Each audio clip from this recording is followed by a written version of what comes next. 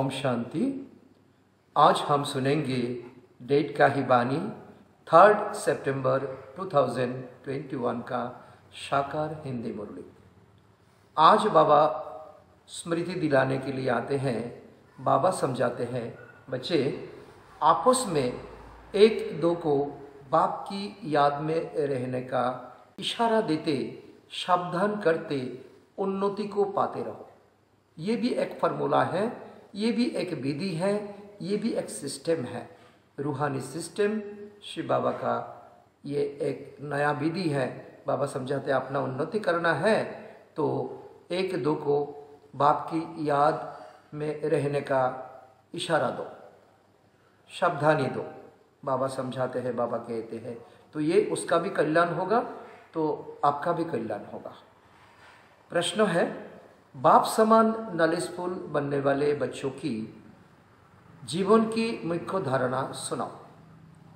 तो रोज रोज बाबा हमें नया मोर दिखाते हैं, नया जीवन का एक कहानी समझाते हैं। तो जो बच्चे बाप समान नॉलेजफुल बनने वाले हैं, उनका जीवन की मुख्य धारणा तो हो सकता है। क्या क्या हो सकता है? उत्तर बाबा समझाते हैं। वो सदैव मुस्कुराते रहते कभी भी किसी बात में उन्हें रोना नहीं आ सकता। कुछ भी होता है नथिंग न्यू ऐसे भी अभी नॉलेजफुल अर्थात रोना प्रूफ बनते हैं। कभी किसी बात में अशांति नहीं होते हैं। उन्हें ही स्वर्गों की बादशाही मिलती है, जिन रोया, तिन खोया। रोने वाले अपना पद गवाते हैं। ये भी बाबा ने एक बहुत सुंदर ये विधि का टाइटल का सब टाइटल दिया है। लॉ का सब लॉ बाबा समझाते हैं, मुस्कुराते रहना, रोना नहीं है तो अर्थात अशांत तो नहीं बनना है। तो वो लक्षण जिस आत्मा का रहेगा, वो बस, बाप समान नॉलेजफुल बनेंगे और स्वर्ग में ऊंच पद प्राप्त करेंगे। आज का सुंदर गीत है, तुम्हें पाके हमने जहाँ पा लिया है, जमी तो जमी क्या, आसमां पा लिया है।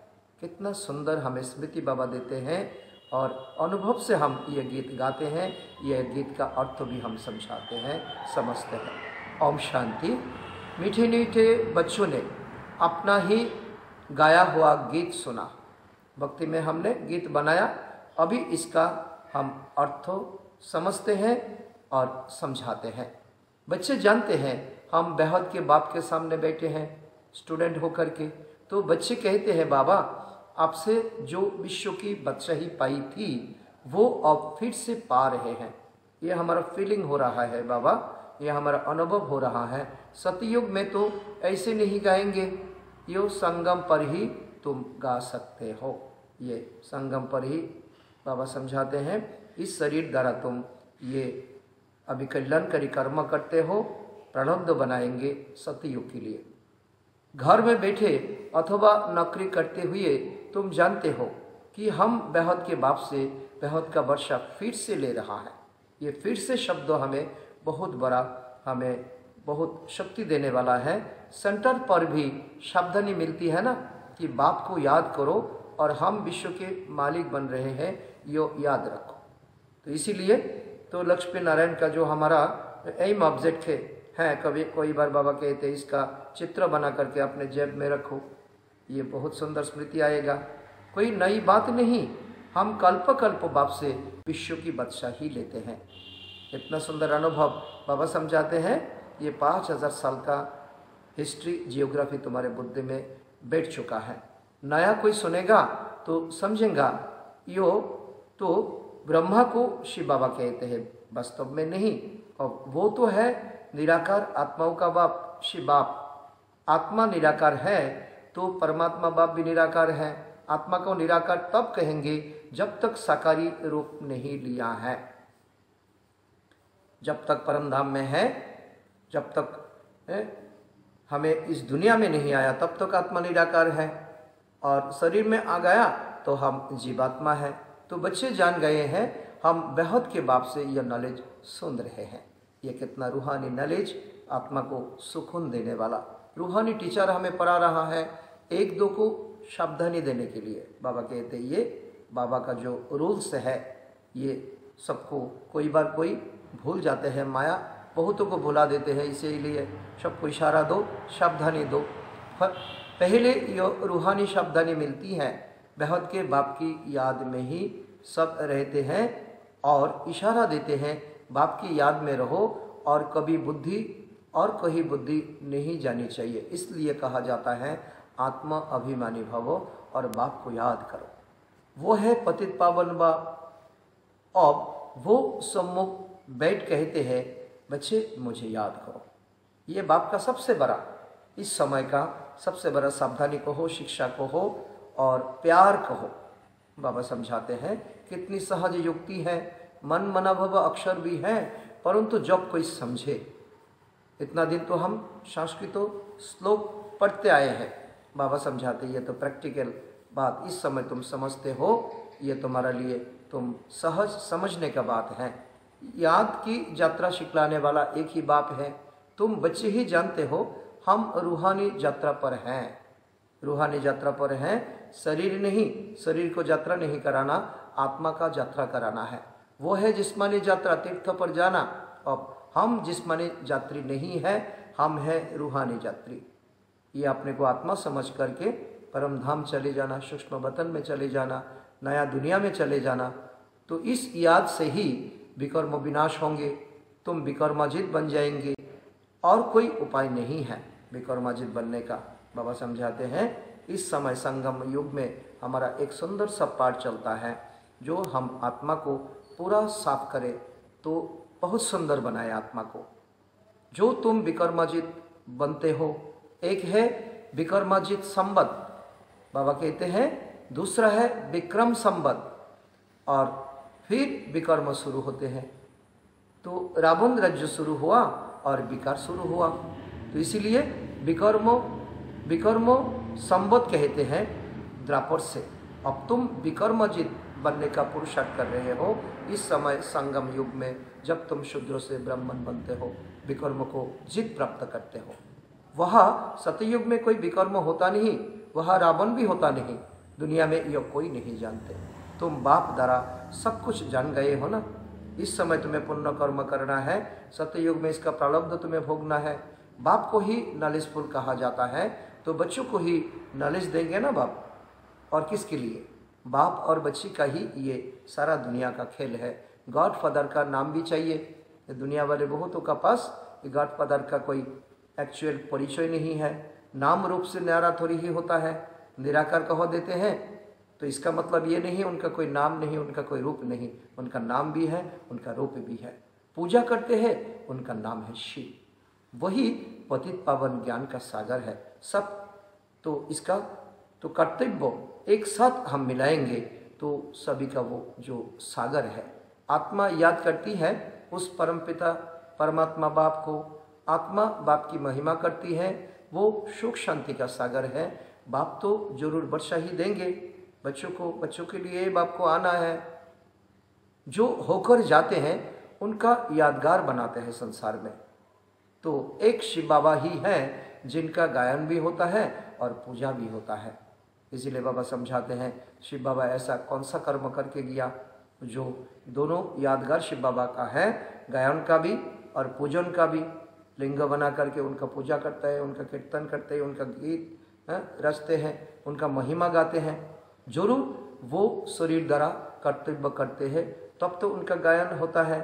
तो वो एबार प्योर है। और दूसरा क्वालिटी भी बाबा कहते हैं वो भी सुनो वो भी समझो। बाप का पुजारी बनते ही नहीं, मातृगर्भ में आते ही नहीं, वो सदैव पूज्य है। बाप कहते हैं, मैं कभी पुजारी नहीं बनता हूँ बच्चे, मैं पूजा जाता हूँ। पहले पहले तुम मेरी अभिविचारी पूजा करते हो। पुजारी लोग मेरी पूजा करते हैं। सतयुग में तो मेरा कोई पूजा होता ही नहीं। भक्ति मार्ग में मुझ पतित पावन बाप को तुम याद करते हो। पहले पहले अभिविचारी भक्ति उस एक की ही होता है। शिवलिंग बना करके तो उनका बहुत नाम देते हो, बहुत ऊँचे ऊँचे स्थान पर उसका मंदिर बनाते हो, फिर तुम्हारा शुरू हो जाता है व्यभिचारी भक्ति। ब्रह्मा सरस्वती को भी वो शिव बाबा विश्व का मालिक बनाते हैं। वो है डिग्री, बाबा समझाते हैं ब्रह्मा सरस्वती को भी पहला नंबर का दाना बनाते हैं। भक्ति का कितना विस्तार है, बात मत पूछो। बीज का कोई विस्तार नहीं, बीज तो छोटा है। और वृक्षों का कितना विस्तार होता है? तो बाबा कहे, भक्ति है वृक्ष और ज्ञान है बीज। बाप कहते हैं, मुझे याद करो और वर्षे को याद करो। मुझे याद करो, मैं बिंदु हूँ, मैं बीज हूँ। बस जैसे झाड़ का विस्तार होता है ना, वैसे भक्ति का भी बहुत विस्तार होता है। कितना करोगे? तो लाइफ तो बहुत शॉर्ट है ना। लाइफ इज़ वेरी शॉर्ट तो ज्ञान है बीज ये बीज में चले आओ। जब तुमको ज्ञान मिलता है तो सदगति को तुम पाते हो। तुमको कोई माथा नहीं मारना पड़ता है। जब ज्ञान मिल जाता है तो तुम्हें कोई अफसोस नहीं रहता, तुम्हें तो कोई डिप्रेशन नहीं रहता, कोई तुम्हें टेंशन नहीं रहता। है तुम, तुम्हें कोई चिंता तो करने का कोई ज़रूरी नहीं, तुम बैगमपुर के बादशाह बन जाते हो। ज्ञान और भक्ति है ना? साथ साथ बाबा समझाते हैं, सतयुग त्रेता में भक्ति का कोई झार होता नहीं। सतयुग त्रेता में तो प्रारब्ध हम भुगते हैं। कोई दुख नहीं, हम भक्ति करें क्यों? आधा कल्प यह भक्ति का झार चलता है।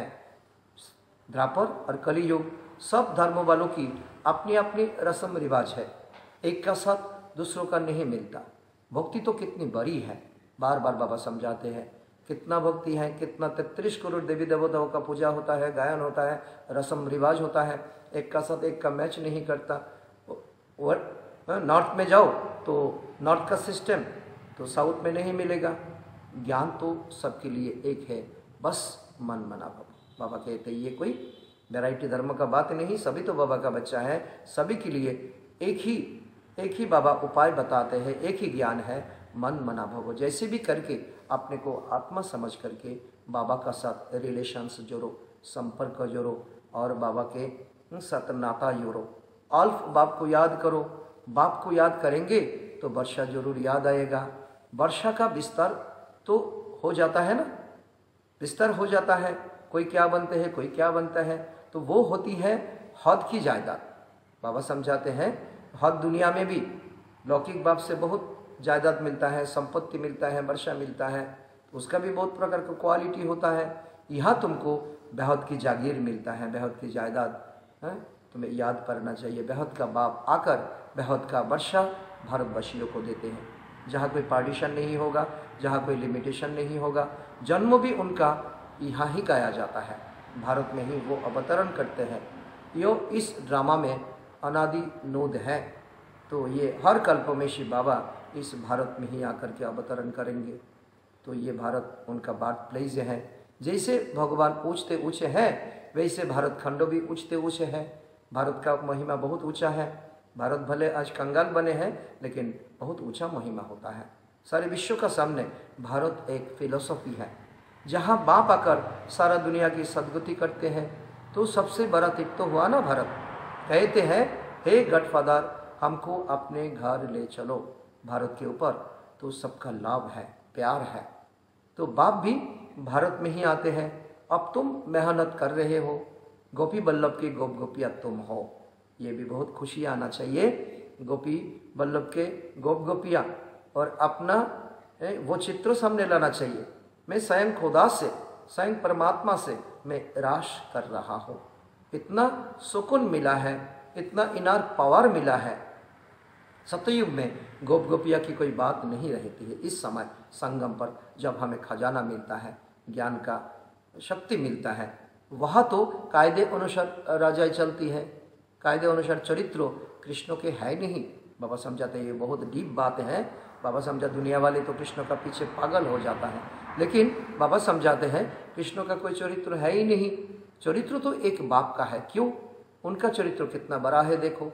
सारी पतित सृष्टि को पावन बनाने के लिए। बच्चों का पीछे कितना मेहनत करता है। पूरा संगम योग बच्चों का पीछे ये डायरेक्शन देते जाते हैं। योग कितनी चतुराई है। कितना चतुराई से एक एक बच्चों को उठा के लाना और आप समन बनाना ये बाबा का कितना मेहनत का काम है। इस समय सब मनुष्य मात्र अजामिल जैसे पापी है।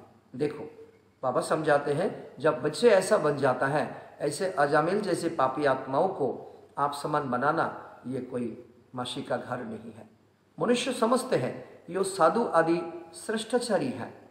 बाप कहते हैं, उन्हों का भी उद्धार मुझे करना पड़ता है। वो भी मेरे बच्चे हैं। लेकिन तुम्हारी सामने वो सजावट करके अपने को बहुत ऊँचा रखता है। लेकिन मैं जानता हूँ उनका अंदर कितना खाली है। जैसे तुम एक्टर्स हो, बाप भी एक्टर है। तुम चौरासी जन्म लेकर पार्ट बजाते हो। वो भी क्रिएटर डायरेक्टर मुख्य एक्टर है। शिव बाबा का भी रूल को हमें समझना चाहिए। अपना रूल भी समझना चाहिए। कारण, करावन, हार, है ना? वो करते नहीं, वो कराते हैं। क्या करते हैं? पतितों को पावन बनाते हैं। ब्रह्मा द्वारा ज्ञान सुनाते हैं, बाबा कहते हैं, तुम मुझे बुलाते हो, आकर, हे परम पिता आकर हमें पावन बनाओ। हम पतित हो गए, हम बेचैन हो गए, हमें चैन की दुनिया में ले चलो। मैं भी इस पार्ट में बंधा हुआ हूँ। जो तुम्हें पुकारा है, निमंत्रण दिया है तो ड्रामा अनुसार मेरा भी इसमें बंधाया मन है। ऐसे कोई कहो न सके, यो क्यों बना, कब बना तो ये तो अनादि बना बनाया ड्रामा है। इनका आदि मध्य अंत तो है ही नहीं, प्रलय होती नहीं। तो बाबा कई बार हमें समझाते हैं, ये दुनिया जो भक्ति में दिखाते हैं, प्रलय हो गया, कृष्ण पिपल का पत्ता पर अंगूठा चुसते चुसते आया तो ये कभी नहीं होता ये कृष्ण से दुनिया कैसे जनरेट होगी। आत्मा अविनाशी है, कभी विनाश नहीं हो सकता। इनका पाठ भी अविनाशी मिला हुआ है। यो बहुत का ड्रामा है ना? बाबा कहते हैं, ड्रामा ड्रामा तो तुम देखते हो और ड्रामा को अब समझो। यह तुम्हारा पाठ है यह तुम्हारा शिक्षा है। नटशल में बाप बेट समझाते इसका तो विस्तार बहुत है। संक्षेप में बाबा समझाते हैं यह ड्रामा का पाठ कैसे चलता है। बाकी ऐसे नहीं, परमात्मा है तो मुर्दे को ज़िंदा कर सकते हैं। ये अंधश्रद्धा की, रिद्धि सिद्धि की बात यहाँ नहीं चलेगा। मुझे तो पुकारती ही है, पतित पावन आओ, आकर हमको पतित से पावन बनाओ। सो तो बराबर आते हैं। गीता सर्वशास्त्रमय शिरोमणि है। भगवान ने ही गीता सुनाई है। अच्छा सहज राज्य कब सिखाया। तो प्रश्न उठता है ना, भक्त लोग भी पूछेंगे। तो बाबा समझाते हैं, इसका उत्तर भी तुम्हें बहुत सुंदर, साफ़ रीति से देना चाहिए। यह भी तुम जानते हो। बाबा तुम्हें समझाया, बाबा आती ही है कल्पों के संगम पर, जबकि आखिर पावन दुनिया नई राजधानी स्थापन करते हैं। सत्ययुग में तो कोई स्थापन करेंगे ना? हम्म? सत्ययुग में तो नहीं करेंगे। स्थापन तो यहाँ का होगा। प्रलब्ध सत्ययुग में पाएँगे। वह तो है ही पावन दुनिया, पाँच तत्व सहित। आत्मा भी पावन, पाँच तत्व भी पावन। कंचन का या शरीर मिलते रहेंगे। कल्पों के संगम में ही कुंभों का मेला लगता है। बाबा कहते हैं, ये कुंभ मेला, पूर्ण कुंभ मेला, आत्मा परमात्मा का। आत्मा परमात्मा तो अलग रहे बहुकाल। ये सुंदर मेला लगता है जब बीच में आया सदगुरु दलाल। तो ये लौकिक दुनिया में भी कुंभों का मेला बारह साल बाद लगता है पूर्ण कुंभ। तो यो बड़ा कुंभों का मेला पाँच हज़ार साल बाद लगता है। ये सूक्ष्म समझने का बात है यह है आत्मा और परमात्मा का मेला। वो तो कुंभ होता है नदी और सागर का। वह जाकर के सभी इकट्ठा होता है। तो कोई पदपृष्ठ होकर के मरते भी है। कितना कई गंदगी होता है, कितना कुछ होता है। तो बाबा ने कहते हैं तो वास्तव में कुंभ तो इसको कहते हैं, जब आत्मा और परमात्मा का सही मिलन होता है। जबकि परमपिता परमात्मा आकर सब आत्माओं को पावन बना करके ले जाता है, यह पूर्ण कुंभ हो। कल्प की आयु लंब तो करने से ही मनुष्य मुझ गए हैं। तो वास्तव में संगम युग कौन सा है? कुंभो किसको कहते हैं? अभी तुम समझते हो। तुम्हारा सामने यह तो बहुत क्लियर हो चुका है। तुम्हारी मैगजीन जो निकलती है उनको भी तुम बच्चे समझ सकेंगे और कोई नहीं समझ सकेंगे। बाबा ने कहा तो बाबा ने कहा, लिख दो, जो कुछ हुआ, पाँच हज़ार वर्ष पहले मिसल नथिंग न्यू बाबा समझाते हैं, ये समझो, लिख दो बड़ा बड़ा अक्षर में लिख दो, ये दुनिया में जो कुछ होता है, ये तो नया कुछ नहीं, ये नथिंग न्यू बार बार होता रहता है, जो रिकॉर्डिंग एक बार हो गया तो कितना बार चलाओ वो तो चलता रहेगा। जो पाँच हज़ार वर्ष पहले हुआ था, वही अब रिपीट होता है। तो किसको भी यह समझाना हो तो आकर समझो, समझना हो। बाबा कहते ऐसा ऑफ़र करो, भाइयों और बहनों। तो ये कल्पों कल्पों का ये सुंदर समय में ये मेला लगता है और भगवान आकर के तो ये आध्यात्मिक पाठ सबको समझाते हैं। ऐसे ऐसे युक्तियाँ रखनी चाहिए। हम अकबर में क्या डाले? तो ये भी तुम लिख सकते हो। यो महाभारत लड़ाई कैसे पावन दुनिया का? हम्म, गेट खोलती है। इस पर टॉपिक बनाओ। इस पर चर्चा करो और लोगों के सामने भाषण करो। सतयुग की स्थापना कल्प पहले मिसल कैसे होती है? ऐसे कैसे देवी देवताओं का राजधानी स्थापन हो रही है? ये भी एक टॉपिक है। वन टू थ्री ऐसे कर करके एक दिन एक एक टॉपिक पर। तो समय मिले तो दो दो टॉपिक लेना है तो लोगों को ऑफ़र करना है, आकर भाइयों और बहनों, समझो। गॉड फादर से बर्थ राइट लेना हो तो आकर के लोग ऐसे ऐसे विचार सागर मंथन करना चाहिए। तो वो लोग स्टोरी आदि बनाते हैं, वो भी ड्रामा में नोद है। वो ऐसा करेगा, भक्ति वाले भक्ति करेगा। स्टोरी बनाने वाले स्टोरी बनाएँगे। जो पार्ट बजाते हैं तो वैष्णदेव ने भी ड्रामा प्लान अनुसार शास्त्रवादी बनाए हैं। उनका भी ये पार्ट है। पार्ट ही ऐसा मिला हुआ है उनको। तो ये कहानी बना करके तो जो उनको साक्षात्कार में मिला तो वो गीता उसमें घुसाने का। तो ये महाभारत नाम दे करके अंदर में गीता तो घुसा करके ये सबका सामने प्रेजेंट करने का उसका भी पार्ट है। अभी तुम ड्रामा को समझ गए हो ना? फिर वही ड्रामा रिपीट होगा। अभी तुम आए हो, फिर से ज्ञान सुनते हो तुम जानते हो फिर से ये लक्ष्मी नारायण का राज्य होगा। बाकी सब धर्म खलाश हो जाएँगे। अभी तुम नॉलेजफुल बन रहे हो। समझाते बाबा छोटी छोटी बातों को हाँ, बाबा बहुत अच्छा रीति। कोई बच्चों में कोई कंफ्यूजन ना रहे कोई संशय ना रहे ऐसा बाबा क्लियर करके समझाते हैं। बाबा तुमको आप समान नॉलेजफुल बनाते हैं। तुम जानते हो आधा कल्प हम पीसफुल रहेंगे। कोई प्रकार की अशांति नहीं रहेगी। सत्ययुग त्रेता में। वहाँ बच्चे आदि कभी रोएँगे नहीं, सदैव मुस्कुराते रहेंगे। यह भी देखो, तुमको रोना नहीं है। अभी इसका प्रैक्टिस, अभी संगम पर करना। कोई भी परिस्थिति आए तो ड्रामा समझ करके, ज्ञान का आधार से इसको तुम्हें मैनेज करके जाना। मैनेज करते जाना। गायन भी है ना, अम्मा मरे तो भी हलवा खाना तो बीबी मरे तो भी हलवा खाना। जिन रोया, तिन खोया। ये भी बहुत सुंदर स्लोगन बाबा बनाया है। और बच्चों के लिए ज्ञान, चक्षु देने के लिए पद भी भ्रष्ट हो जाएँगे, रोएँगे अपसेट होंगे। तुमको पतियों का पति मिला है, जो स्वर्ग की बादशाही देते हैं, वो तो कभी मरता भी नहीं। पति कभी मरता भी नहीं तो फिर रोने की क्या दरकार है? जो रोने प्रूफ बनते हैं, वही बादशाही लेते हैं।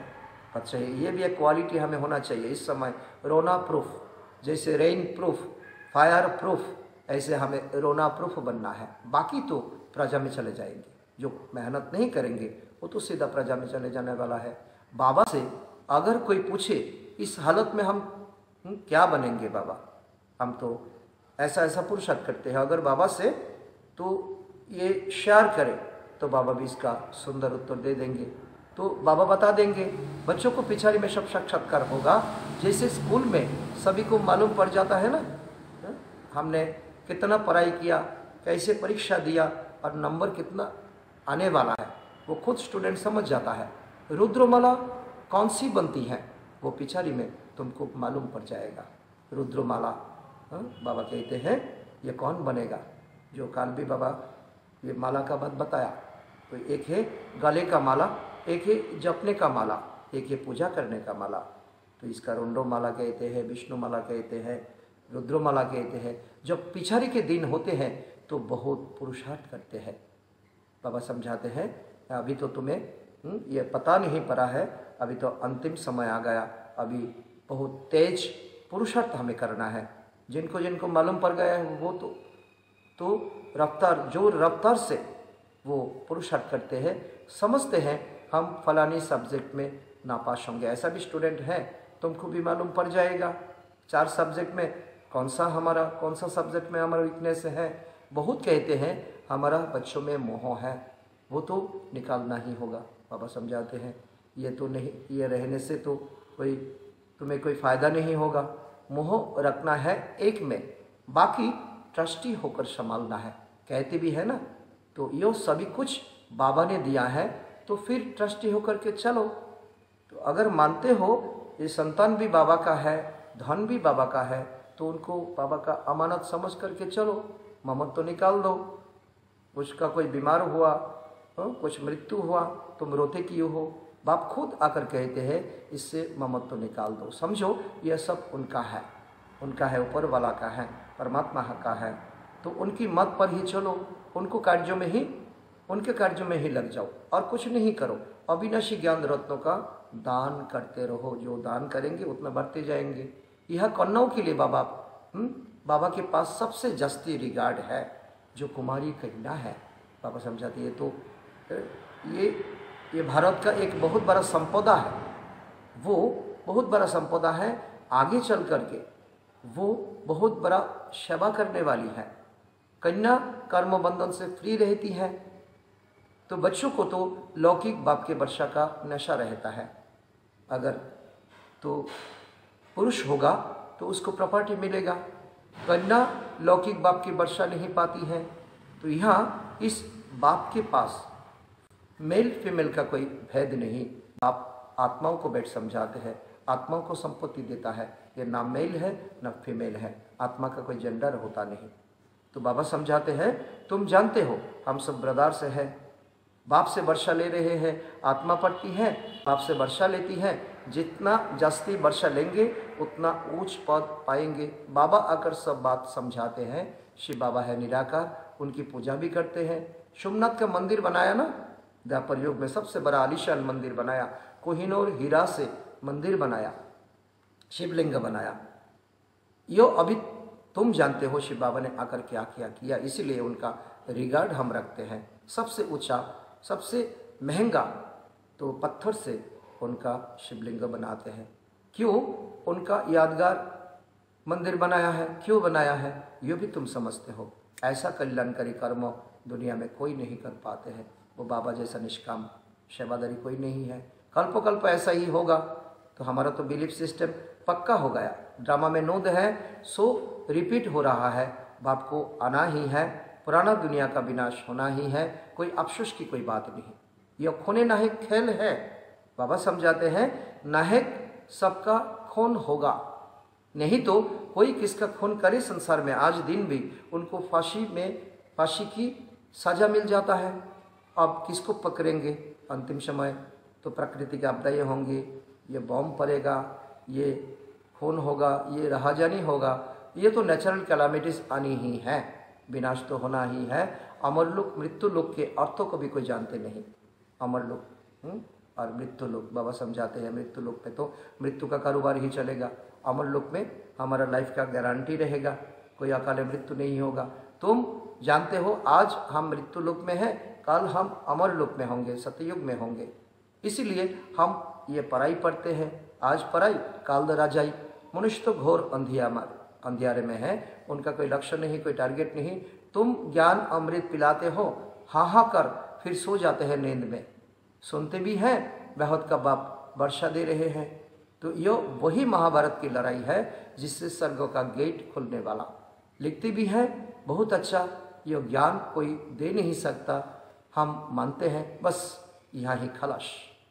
खुद कुछ भी ज्ञान उठाते नहीं, फिर सो जाते हैं। इनको कहा जाता है कुंभकर्ण। बाबा यह नाम देता है, जो बच्चे बाबा का बात सुन करके हाँ हाँ करते हैं, बहुत अच्छा बहुत अच्छा करते, अपने जीवन में अप्लाई नहीं करते, वो तो कुंभकर्ण जैसा है।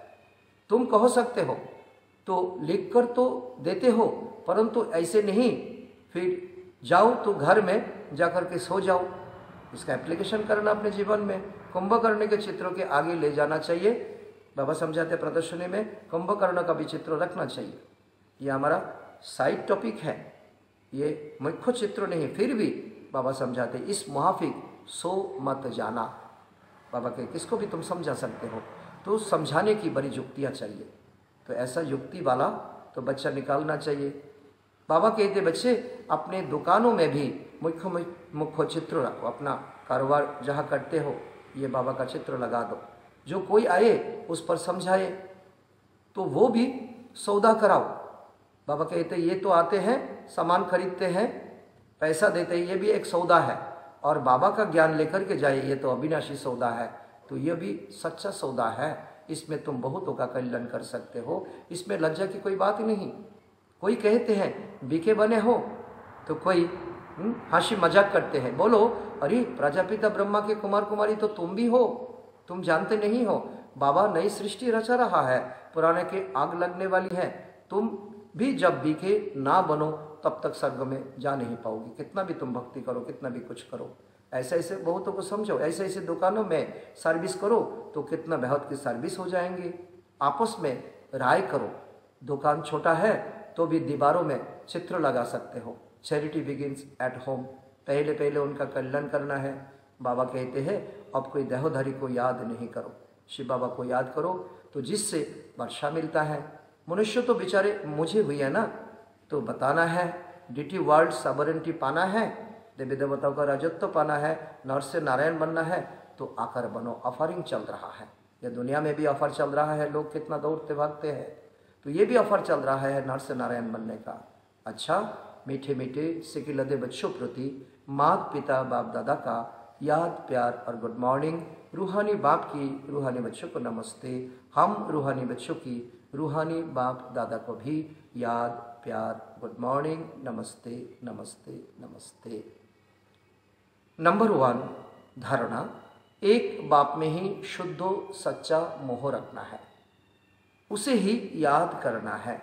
देहधारियों से ममत्व निकाल देना है। ट्रस्टी होकर संभालना है। ये एक एक पॉइंट हमें दिल में नोट करना है, सारा दिन हमें प्रैक्टिस करना है। करते करते वो अपना बन जाएँगे। नंबर दो विकर्माजित बनना है, इसलिए कर्म इंद्रियों से कोई भी विकर्म ना हो, इसका बहुत बहुत ध्यान रखना है। बाबा ने कहा टारगेट ही रखा है, इसीलिए कर्म तो करना पड़ेगा। बरदा, शक्षीपन की सीट दरा शक्षीपन शक्षी दृष्टा हो जाओ। शक्षीपन की सीट दरा परेशानी शब्दों को समाप्त करने वाले मास्टर त्रिकालदर्शी भव। इसका अर्थ है, इस ड्रामा में जो कुछ भी होता है, उसमें कल्याण भरा हुआ है। नेगेटिव नहीं समझो। क्यों? क्या का क्वेश्चन समझदार के अंदर उठ ही नहीं सकता। नुकसान में भी कल्याण समाया हुआ है। बाप का साथ और हाथ है तो अकल्याण हो नहीं सकता। ऐसे शान की सीट पर रहो तो कभी परेशान नहीं हो सकते। शक्षीपन की सीट परेशानी शब्दों को खत्म कर देनी है। इसलिए त्रिकालदर्शी बन प्रतिज्ञा करो कि ना परेशान होंगे, ना परेशान करेंगे। तो ये बहुत बड़ा हमारा ये धारणा युक्त बात है। आज का स्लोगन है, अपने सब कर्म इंद्रियों को ऑर्डर प्रमाण चलाना ही स्वराज्य अधिकारी बनना है। तो ये हम आज सारा मुरली बहुत ध्यान से सुने हैं। अभी हम समान लेंगे। मैं साक्षी दृष्टा आत्मा हूँ। ओम शांति।